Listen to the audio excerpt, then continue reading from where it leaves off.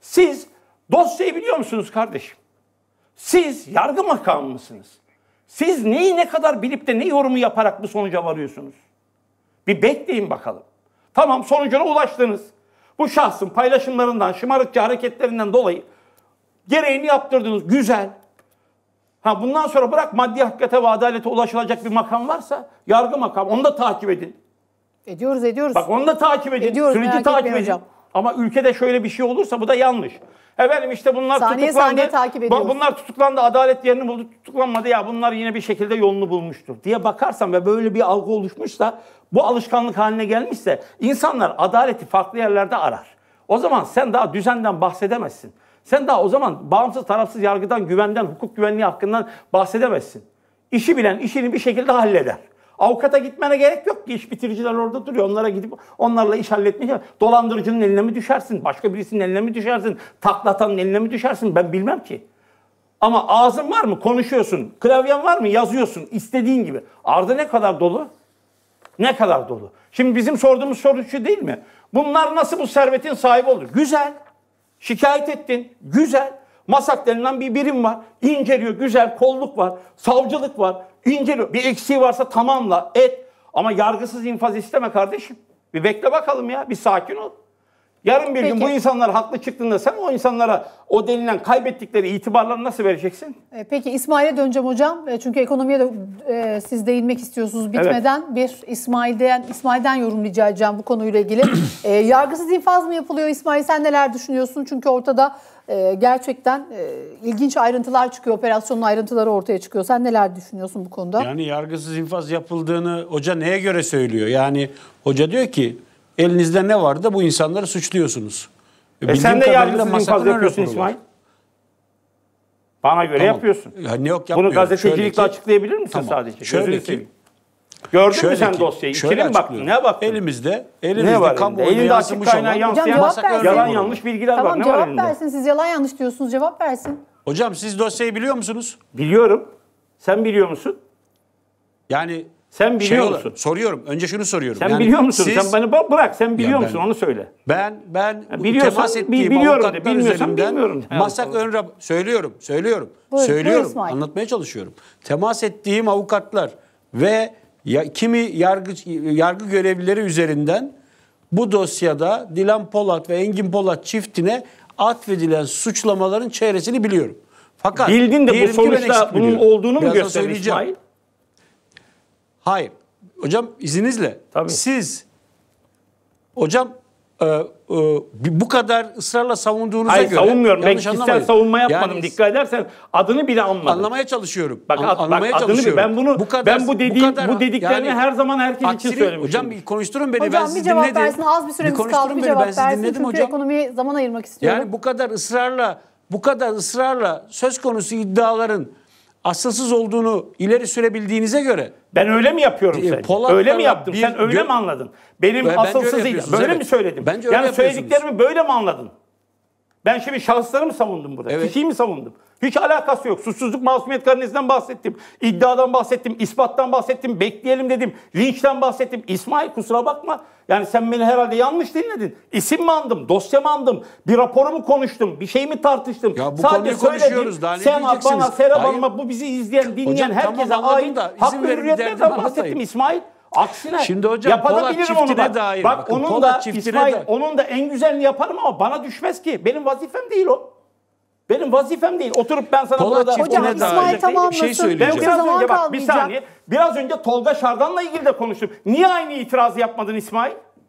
Niye? Çünkü Tolga Şardan'ı Ya Tolga seviyorsun Şardan'ın sen. ne yazdığı belli zaten. Kardeşim bir dakika Ya dur. To- Tolga bir dakika Şardan'ın dur. ne bir yazdığı, dakika dur. Orada bir suçtan soruşturma var. Gözünü belli. seveyim.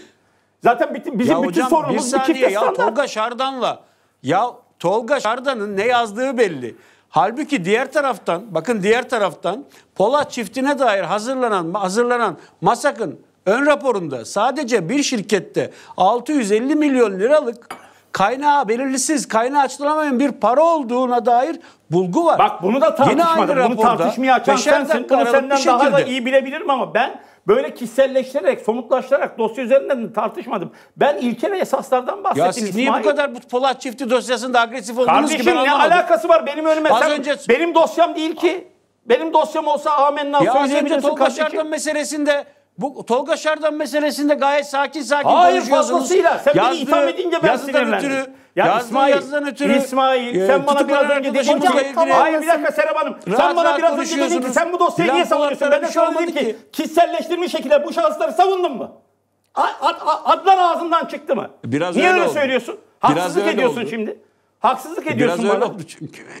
Yapma. Savunabilirim. Avukatları da olabilir. Ama şunu söyleyeyim. Yani onu, ya niye bağırıyorsunuz sana. ya Öyle Dilan şey Polat ve ya Dilan Polat Ben- ve Engin Polat bak, davasına dair üste hazırladığı bir üst rapor var. İsmail. Ve bu ön rapora İsmail göre ben polise bir şey mi dedim, Allah savcıya bir şey mi dedim, Ama bu yapılabilir konuyu dedim. konuşuyoruz. Tamam, Ama bu konuyu konuşuyoruz ülkede zaten. yargısız infazlardan bahsettim. Bu da bu böyle olabilir dedim. Bunu demek suç mu ya?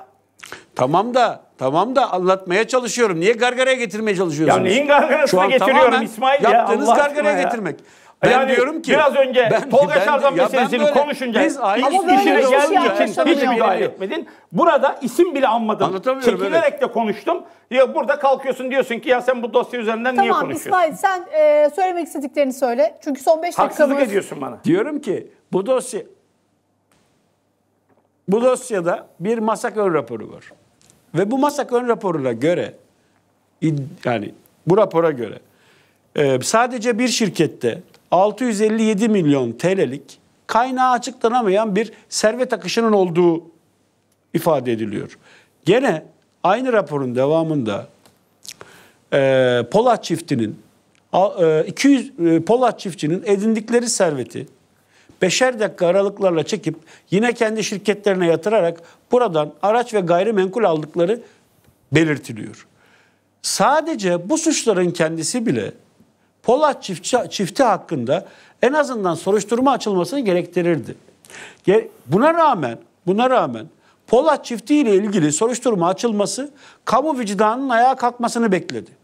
Ve 3 Ekim'de soruşturma açılır açılmaz gizlilik kararı verildi ve adeta o süre içerisinde şüphelilerin varsa servetleri kaçırabilecek, varsa delil ortadan kaldırabilecek süre tanındı. Ya iki tane adliyenin, iki büyük adliyenin, üstelik birinde yolsuzluk iddiasıyla günlerdir savcı ve hakimlerin birbirine girdiği bir adliyenin bu hususta halen daha ortaklaşıp bir karar alamaması bile insanda ziyadesiyle kuşku uyandırıyor.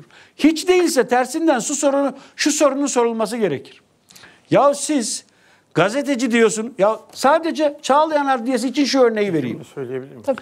Aynı adliyede 3 Ekim'de 3 Ekim'de Dilan Polat ve Engin Polat için soruşturma açıldı.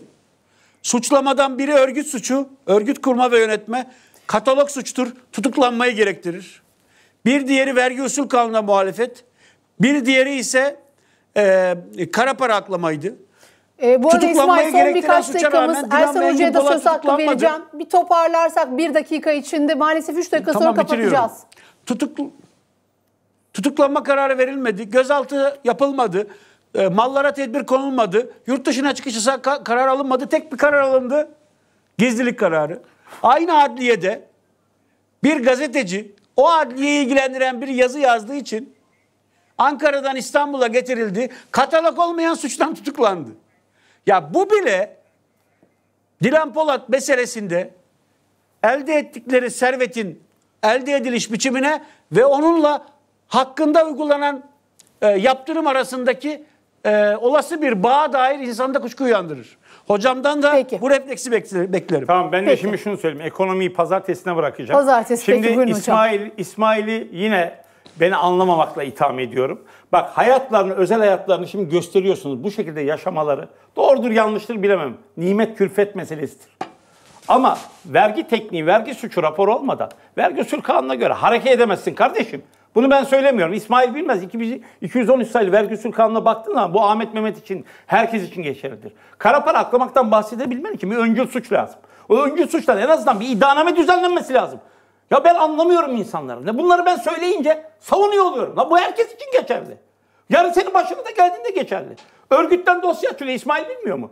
E, Örgütten dosya açılmasının en önemli sebeplerinden birisi cezasının ağırlığını bir kenar vergi şey teknik takip yapabiliyorsun. Kolaydır. Katalogdadır, tutuklamada kolaydır. Ondan sonra birçok örgüt dosyasında beraatle geçersin sen. Neyin örgüt olduğunu bilemezsin ki. Aileden örgüt olur mu, şirketten örgüt olur mu, olmaz mı? Ben bunu yaşadım. Bak sözde şirket davasında yaşadım ben dosyasında yaşadım. Başka dosyalarda yaşadım. Burada isimlerini söylemeyeyim. Anlı şanlı önümüze getirdiler örgüt örgüt örgüt diye. Ne oldu sonra? Ne oldu sonra? Ne çıktı? İnsanlar aylarca yıllarca tutuklu kaldı. Ben de şunu söylüyorum diyorum ki İsmail'e. Tolga Şardan'ın ben hakkını savunurum kardeşim. İsmini de zikrettim. Söyledim. Yakalaması, gözaltına alması, osu bu hepsi yanlış. Ve bu isimleri ki İsmail'den öyle bir itham geleceği için. Ulan paralı pullu insanlar ya öyle gözüküyor ya. Şimdi oturduk da burada avukatlık mı? ya? Öyle bir şey değil. Ama diyorum ki bu herkese lazım. Bu hak herkese lazım. Peki. Tutuklanmak. Tutuklanmak bir mecburiyet midir kardeşim? Bu insanların suçsuzluk Peki, masumiyet kardeşi yok. Benim hocam. söylediğim bu. Dolayısıyla bu meselelere, iktisadi suçlara bu bakımdan bakmak lazım. Göz yummak. O benim işim değil ki. Makam göz yumdu mu yummadı ama şimdi bir soruşturma yürüyor. Bu ülkenin mali şubesi kolluğu da en iyi Peki. şekilde bunu yapacaktır. Ondan sonra adli makamlar karar verecektir. Peki. Bu kadar. Ersan bunu Şen- beklememiz lazım.